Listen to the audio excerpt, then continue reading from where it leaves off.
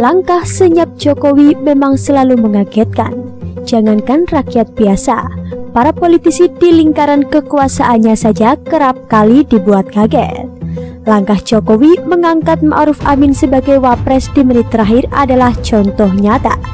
Kini, nama-nama yang diusung untuk pergantian kabinet mulai menyeruak.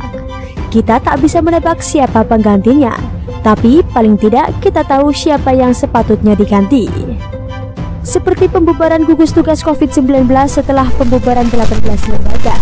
Jauh-jauh hari kita bisa menebak kalau kinerja mereka lamban dan tak membuahkan hasil. Angka kematian COVID-19 terus bertambah, zona merah di mana-mana, sedangkan programnya malah memproduksi obat ilegal. Bukannya corona, justru gugus tugas sendiri yang menyengsarakan negara. Itu cerita mengenai gugus tugas. Cerita sesungguhnya adalah reshuffle Kabinet Indonesia Maju. Tapi kenyataannya lebih cocok disebut Kabinet Jalan di Tempat. Bagaimana tidak? Di tengah pandemi corona yang menyeret ekonomi ke dalam jurang resesi, para menteri tidak ada terlihat kemajuan. Serapan anggaran rendah, inovasi di kementerian nihil, permintaan perpres atau pembuatan permen kosong dan miskin tanggung jawab. Jokowi menyebut mereka sebagai manusia yang tak punya sense of humanity dan sense of crisis. Siapakah mereka? Tentu yang mulanya bersinggungan dengan COVID-19 ini sendiri.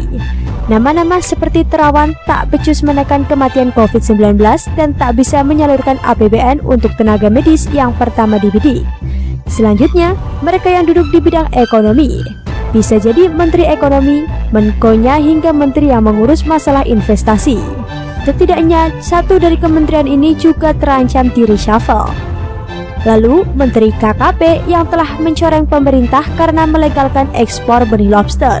Padahal ujungnya untuk memperkaya diri dan kroninya sendiri. Ini terlihat dari perusahaan-perusahaan eksportir yang terafiliasi dengan Gerindra dan PKS. Tiga menteri setidaknya dibidik, Selanjutnya, antara Menteri Agama dan Menteri Pendidikan. Menteri Agama yang seharusnya bisa menyejukkan orang-orang di organisasi keagamaan agar tak ribut di tengah corona malah diam senyap. Bahkan saat dana haji dituduh untuk infrastruktur dan penanganan corona oleh oposisi, tak ada bantahan darinya.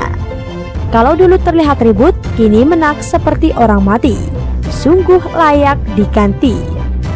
Terakhir, Menteri Nadiem Makarim yang awalnya kita harap bisa memberikan gebrakan di dunia pendidikan, nyatanya masih jauh dari harapan. Mungkin dia ada dalam reshuffle terakhir dari sekian banyak menteri yang terancam di reshuffle. Nadiem harus jujur kalau dia tak bisa memberi gebrakan berarti.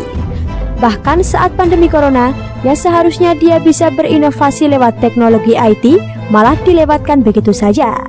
Justru yang keluar pernyataan blunder soal belajar dari jarak jauh selamanya. Apa sekalian mau dipromosikan ruang guru milik ex-staff sus yang juga sahabat dekatnya? Sebenarnya masih ada nama menteri yang memiliki posisi rawan bahkan di ujung tanduk.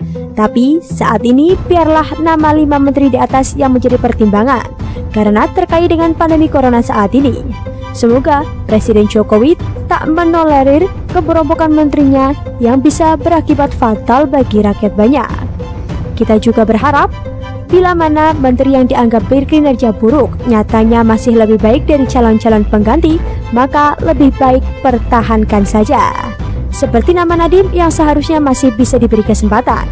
Tapi selebihnya sebaiknya cepat di reshuffle sebelum terlalu jauh menghambat kinerja pemerintahan Jokowi. Rakyat sudah terlalu bosan dengan janji-janji pemerintah, apalagi kini dihadapkan dengan gelombang PHK besar-besaran. Apa harus menunggu mereka mati kelaparan baru pemerintah bertindak? Mirisnya, ini semua karena ketidakbecusan menteri-menteri periode kedua. Kalau perlu, Ahok diangkat sebagai Menko Perekonomian. Kita yakin aturan-aturan kementerian baru segera ia terbitkan untuk mempercepat pemulihan. Susi bisa langsung diangkat menggantikan Edi biar tak marak ekspor benih lobster yang nyatanya hanya memperkaya pengusaha-pengusaha besar. Risma yang sebentar lagi selesai jabatannya bisa ditaruh sebagai Menteri Agama biar mendamprat gerombolan FPI, MUI, dan sejenisnya. Biarlah nama-nama baru segera menghapus nama-nama lama. Semoga ini jadi pertimbangan Presiden agar tak perlu lama-lama marah dan bisa fokus pada pemulihan Indonesia.